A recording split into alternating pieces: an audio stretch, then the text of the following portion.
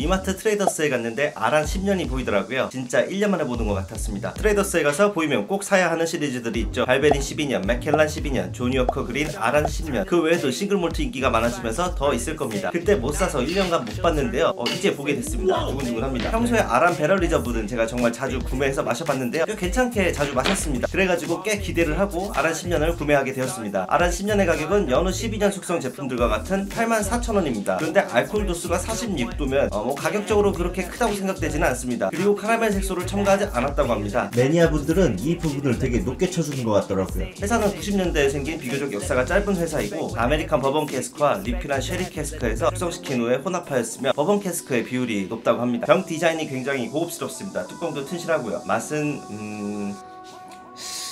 오 살짝 맵다. 여느 single malt와 같았습니다. 달고 바닐라가 느껴지고 틀린 부분은 뭔가 시큼한 과일 맛과 매운맛이 느껴지더라고요. 그런데 이 매운맛이 저는 거슬렸습니다. 위스키가 좀 알싸하다고 해야 할까요? 제 성향은 같은 급에서는 글렌피딕 10이나 글렌리벳 12, 글렌고인 12 같은 둥글둥글한 무난한 맛을 좋아한다는 부분을 참고하고 들어주셔야 합니다. 높은 도수에 비해 무겁지 않았고 분명 맛도 괜찮았지만 호불호가 분명히 갈릴 것 같은 맛이었습니다. entry급을 좋아하는 저에게는 가격 생각하면 아란 10년은 결코 제 취향이 아닐 뿐이지 괜찮은 위스키가 아닐까 생각합니다.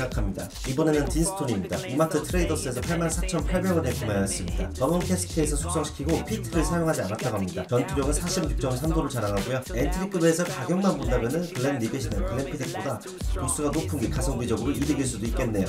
하이랜드 위스키라고 나와 있고요. 하이랜드에서 유명한 위스키들 하면 뭐 하이랜드 파크라든지 글렌고인, 글렌드로낙, 글렌모렌지 대강 이 정도가 있겠네요. 맛은 정말 제가 예상한 딱 그 맛이었습니다. 꿀처럼 달고 바닐라스러움 부드럽지만 목에서 넘길 때 역시 46.3도라 그런지 한 번 턱 걸리는 게 있는 것 같지만 너무 괜찮았습니다. 롬피트 좋아하시는 분들은 정말 가볍게 즐기기에 괜찮을 것 같습니다. 저는 개인적으로 맛있게 마셨지만 가격이 엔트리급들과 비슷하기 때문에 이 가격대에서는 사실 선택지가 많을 것 같습니다. 개인적으로 제 취향은 딘스톤 12년이었으나 이마트 트레이더스의 진열대 아란 10년은 다 사라졌고 딘스톤 12년은 많더라고요. 역시 입맛은 지극히 개인적인 취향이니까 제 영상은 참고만 하시면 좋을 것 같습니다. 감사합니다.